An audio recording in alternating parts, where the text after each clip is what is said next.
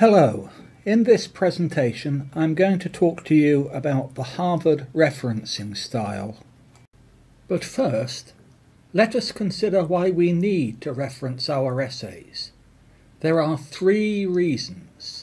The first reason is to avoid plagiarism. This is essential.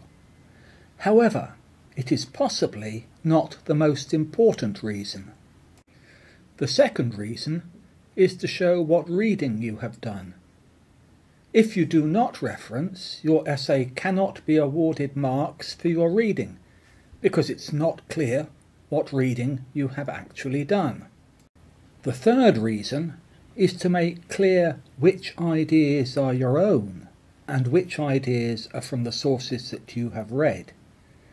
If you do not reference clearly, your essay cannot be awarded marks for your ideas because it is not clear which ideas are your own and which ideas you have taken from the sources that you have read. So, if you do not reference clearly, you cannot be awarded marks for your reading, and you cannot be awarded marks for your own ideas. It is clear then that if you do not reference your essay clearly, you will most likely be awarded a very low mark. You must cite a source for everything that you borrow. Using another person's words and or ideas as if they were one's own, or without acknowledging the source, is known as plagiarism. Copying, when exact words are used without using quotation marks or without acknowledging that it is in fact a quotation, is the most serious form of plagiarism. In an academic paper, it is essential to avoid plagiarism. To avoid plagiarism, the writer must provide a note for any idea borrowed from another writer. Place directly quoted material in quotation marks and provide a bibliography at the end of the paper for every source. There are two types of quotation, direct and indirect. Direct quotation uses the exact same words as in the original source. Direct quotes must be placed between inverted commas. Indirect quotations include paraphrases, summaries, and syntheses. In an academic paper, it is quite acceptable to use other people's words and ideas. It demonstrates to the reader that you have read about your topic and that you have considered the views of others. You should be careful, however, not to include too much direct quotation it is not acceptable to pad your paper. It is usually a good idea to restrict direct quotations to not more than 10% of the whole paper. You must make it clear when you are using somebody else's actual words. Direct quotation involves quoting a writer's exact words and should be marked by the use of quotation marks. For example, Mills, 1995, page 16, observes that, in spite of all that computers have to offer, human intervention is still necessary, notably in machine translation and lemmatization. When you use somebody else's words and ideas, but not exactly as they are written, this is known as indirect quotation or paraphrase. For example, Mills, 1995, page 16, observes that human intervention is still needed, in particular in the fields of machine translation and lemmatization, although computers contribute much. Citation within the text of a document refers the reader to an alphabetical bibliography or reference list at the end of the article the surname of the author and the date of publication are inserted at the appropriate point in the text.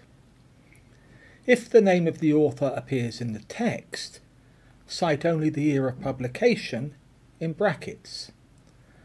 For example, regarding the reciprocal relationship between learner autonomy and concordances, Mills, 1994, pinpoints three areas of consideration, etc.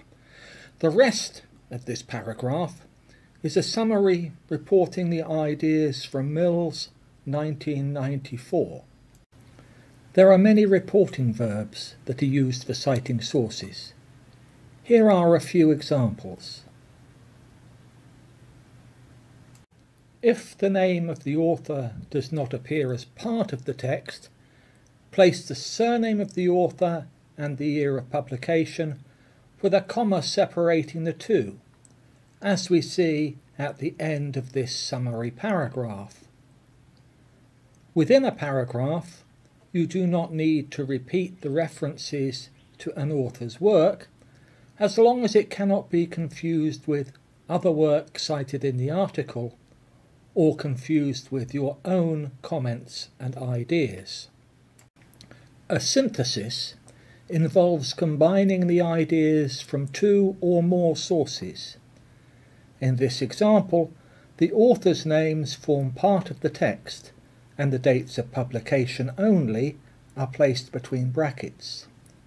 Meanwhile, Mills, 1999, and Deacon, 2006, provide useful insights about debates and disputes in the Cornish language movement but their accounts lack ethnographic detail.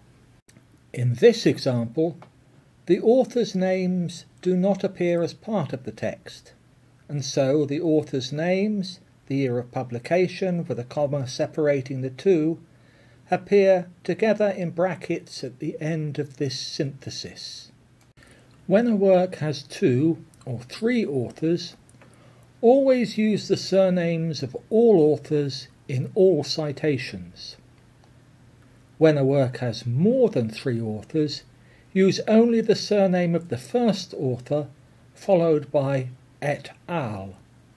When a work has no author, cite the first two or three words of the bibliographic entry followed by the year. The first entry is usually the title. Put the title of a periodical or book in italics and use double quotation marks around the title of an article or chapter. ND is used when the date of publication is not found in the publication details of the source.